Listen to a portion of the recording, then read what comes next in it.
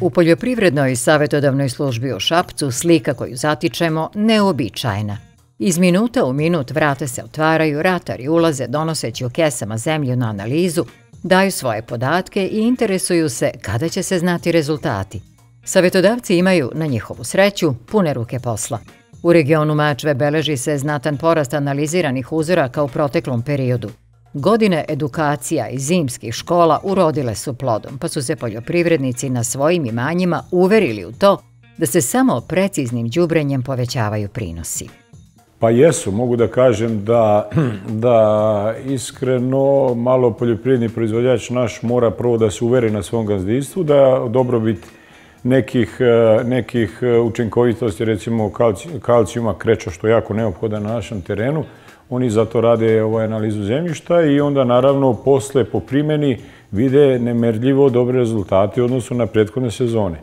Oni to e, sa našim predavanjima, u susretu, direktnom kontaktu na parcelama, na njivama sa njima i od usta do usta, dakle poljoprivrednici sami svoje dobre, dobre iskustva prenose svojim e, komšijama, braći, kumovima i tako dalje. I prosto ovaj, onda ko jednom uradi analizu zemljišta, on je iskreno redovan. E, sad, to može u neku ruku nekada bude malo i grotesno, ali je istinito prosto.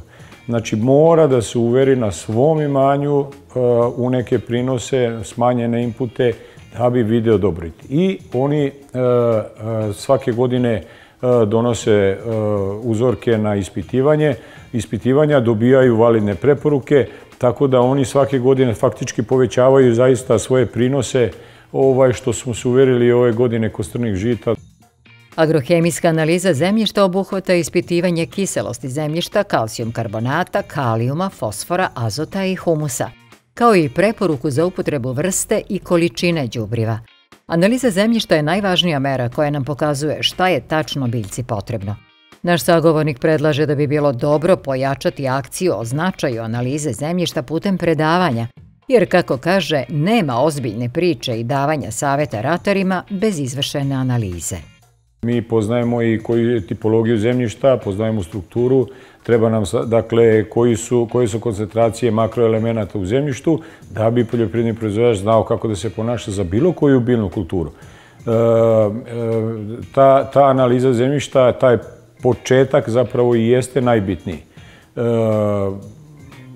mora poljoprivrednik da se upozna dakle, o nekim stvarima kada je u pitanju struka. Dakle, nebitno da li je završio školu ili nije. On živi od toga i on mora da zna zašto se neka makroelement, neki makroelementi zaoravaju, u kom momentu se daje prihrana.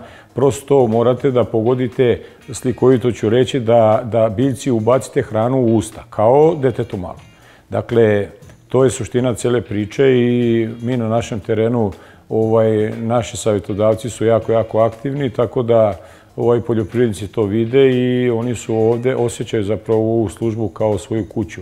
I kad dolaze ovaj, iz svojih eh, katastarskih opština u Šabac, oni zapravo prvo dolaze ovde, što je nama puno srce. Jel? Zemlješte u Mačvi je u velikoj meri kiselo, pa je melioracija veoma bitna kako bi se struktura zemljišta popravila. Jedna od mera popravljanja zemljišta je i kalcifikacija. Ono što je važno da napomenemo je to da opština Šabac odnedavno subvencioniše kako analizu zemljišta, tako i krečni materijal potreban za melioraciju. Ministarstvo je izašlo sa, sa uredbom gde subvencioniše određen broj uzoraka, ali u odnosu na ranije godine moramo mi da izađemo na teren, da se čekiramo, dakle, e, da obeležimo njivu sa GPS koordinatom i e, to je dakle e, jedna stvar. Druga stvar je opština takođe izašla u susret i e, dakle za opštinu Šabac pričamo, ne za ove druge ove tri opštine, dakle izašli su sa subvencionisanjem krečnog materijala i oni subvencionišu analizu zemljišta. Tako da imaju već dva modela po kojem mogu da se, da se ovaj, kod nas prestroje i da kaže uzet ću ovako ili na ovaj način, tako da u principu ove godine zaista smo jako, jako aktivni. U godini poput ove, kada je sve poskupelo, duplo ili troduplo, od presudnog je značaja da se đubrivo ne rasipa na pamet, već da se savetuje sa strukom i uštedi makar tamo gde je to moguće. Domaćin će svaki znati dobar savjet se isplati sa novog portala Vreba Saveti sa Agroneba. Posjetite ovog trena i nestaće ta dilema. agrosaveti.rs Sajt koji nudi odgovore.